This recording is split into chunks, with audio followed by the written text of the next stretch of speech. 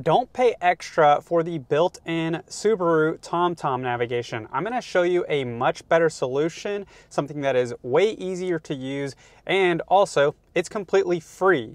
If you guys are new to my channel, my name is Alex. I like to share weekly videos all on Subaru related topics, tips, and tricks that you need to know if you have a Subaru. So consider clicking that subscribe button down below if you think you might be interested in those types of videos. Depending on the Subaru model you're looking at, it may already come equipped with the TomTom navigation, depending on the trim level you choose. For example, if you are looking at an Outback Limited and you really want to have the moonroof and or maybe also a heated steering wheel, it's by default going to come with the TomTom navigation because this is an all-in-one package. Those features all come together and you can't separate them out. Now, if you don't want the heated steering wheel and you don't care for the moonroof on that trim level, but you also want the navigation, you don't have to upgrade and pay extra to get that package for the nav because of what I'm about to show you. With your phone connected to your Subaru, you can go into a feature called Apple CarPlay, or if you have Android, it's called Android Auto, but you connect your phone to your car and you can use navigation directly up on your screen and you can store your phone away. And you can use multiple apps, not just Google Maps like we see here, but if you have other navigation apps downloaded, like your Google Maps, or maybe you prefer to use Waze, you can use any of those navigation apps directly on your screen. This eliminates the need to have to worry about software updates for your TomTom navigation that's built into your Subaru's infotainment system. And instead, all you have to do is make sure that your phone apps or your navigation on your phone apps are up to date. And that's very easy to do. A lot of those are set up automatically. You can set your phone up to auto update at night when you plug it into the charger when those new app downloads become available. I'll show you how to use the navigation on your touchscreen with the Apple CarPlay here in just a moment. But before we get to that, I'm going to show you guys how to connect this on your car because each year is a little bit different. Apple CarPlay first became available on the 2017 Subaru Impreza. Then in 2018, they released it for the Outback, the Legacy, and the BRZ.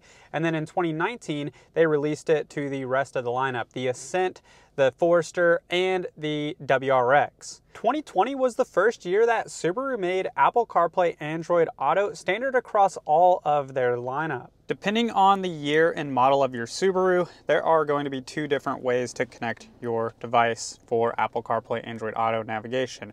One is with your data cable. So 2017 through 2022, all Subarus required connection with your cable. You just plug it in here, it goes to your phone, and then you'll see something on your screen that pops up to say enable CarPlay or Android Auto. You'll just click on that to accept, and it will connect your phone very seamlessly. Now, what they've changed in recent years, so starting in 2023, the Outback Legacy and Ascent received the wireless connectivity capabilities. So I'll show you how to do that. And now in 2024, all but the Forester have wireless connectivity. The Forester is getting that in 2025. To connect your phone wirelessly, click on this icon on the lower right hand portion of the screen.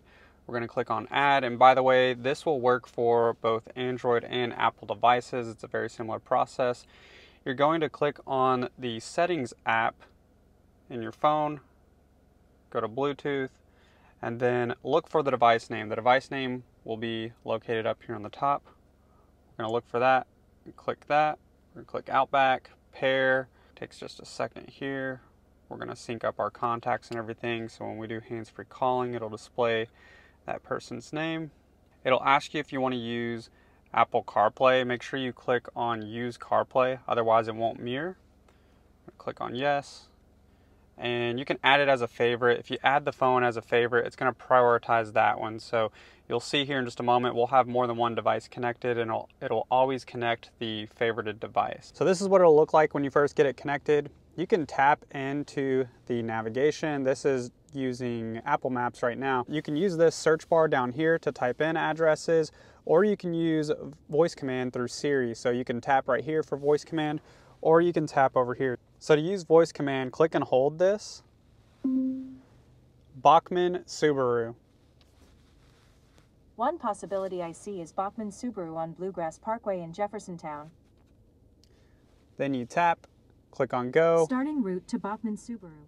And it'll navigate directly to the location you set. Quick tip on using your voice command button on the steering wheel.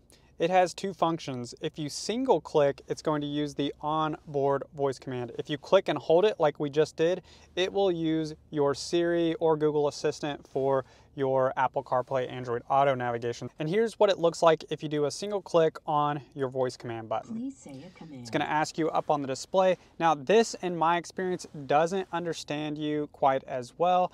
And so I don't prefer using it. And if your car doesn't have navigation, you're not going to be able to use nav using this anyways. This one does have navigation, this particular car I'm in right now. So if you wanted to see what the TomTom navigation looks like, this is what it looks like. It's functional, but in my eyes, just not as good of quality as the Apple Maps, Google Maps, and Waze that is offered through Apple CarPlay Android Auto. You can also use more than one navigation app. So maybe you don't prefer the Apple Maps and instead you prefer Google Maps or maybe even Waze. You can go in here and select those navigation apps very quickly.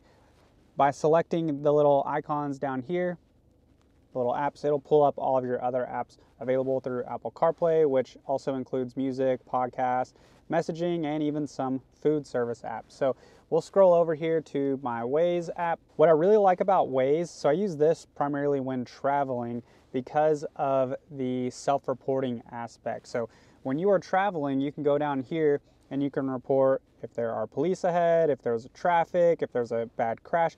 You can report that and get a notice, get notified before you approach that just to make it safer when traveling. There is one key thing, an important detail to note, the differences between the TomTom built-in navigation that Subaru offers on certain trim levels and this Apple CarPlay Android Auto feature that I'm telling you about today. And that is in remote areas. So if you are in a remote area, your TomTom navigation will connect via satellite. Now with the Apple CarPlay Android Auto, this requires either Wi-Fi connectivity or cellular data. So if you're in a remote area and you haven't previously set your address before you started your route and you lose cell service or you lose Wi-Fi connectivity, which you're likely going to do if you lose cell service, then you are not going to have the ability to use your Apple CarPlay Android Auto for navigation. So that is something important to note if you are traveling in heavily remote areas.